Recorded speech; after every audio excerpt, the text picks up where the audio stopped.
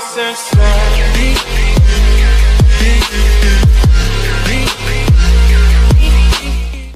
Andrés Manuel López Obrador, cortesía, ISSST, la primera conferencia matutina de la semana, el presidente de México, Andrés Manuel López Obrador indicó que hay presupuesto para atender a los damnificados del sismo y, que hay presupuesto para atender a las colonias pobres del país, así como presupuesto darle mantenimiento mantenimiento a las carreteras.